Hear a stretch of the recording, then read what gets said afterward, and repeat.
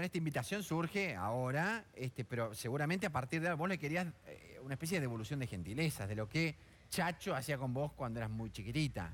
Claro, sí, o sea, eh, yo me criaba, me criaba acá en mi abuela, Sí. mi abuela materna, y pasé dos años eh, porque yo iba a la escuela a la tarde, entonces me convenía quedarme acá. Ajá. Y bueno, entonces mi abuelo era el que siempre me acompañaba a la parada, me buscaba, me esperaba. Cuando iba a gimnasia, al CEP 18, que es bastante lejos, Sí. eh, me acompañaba en el colectivo, se quedaba, me esperaba y volvíamos juntos. Y siempre me acuerdo, o sea, no completamente, pero tengo algunos recuerdos cuando me buscaba del jardín y me llevaba al mercado del norte y comíamos la pizza, que son las más ricas la de ahí, no sé por qué.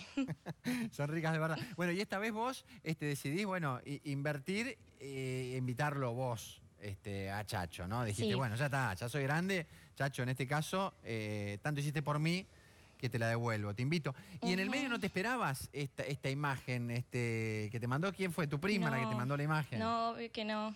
O sea, me la mandó y yo le fui a mostrar a mi mamá y le dije, mira, el abuelo ya se está preparando y lloré un poquito, pero digo, bueno, no, ya está.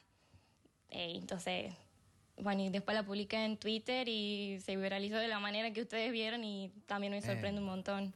¿Y cómo fue en el barrio? ¿Cómo fue esta, esta viralización de esta foto que era algo familiar y de repente explotó en las redes? ¿Cómo le llegó a Chacho, a, a tu abuelo y a toda la familia?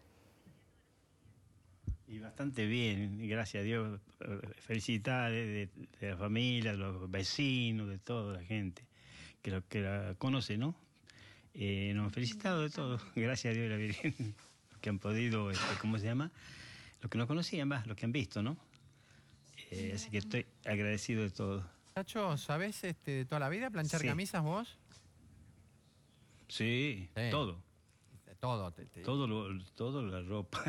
Toda la ropa. Bueno, o sea, en realidad no era una excepción. Interior, interior y exterior. Bien, pero hiciste, vos hiciste una excepción y dijiste, bueno, esta vez que, que mi nieta, que Aldana me invita, es una ocasión especial, entonces tengo que estar impecable, o en general, cuando vas a, a algún lugar, este, procurás estar cu- impecable. Claro, cuando vamos a salir, sí, en general. Lo Mm. que se- hay que hacer, lo hago. Porque ya estoy jubilado, tengo mi tiempo. Sí. Y gracias a Dios puedo ser silbito también.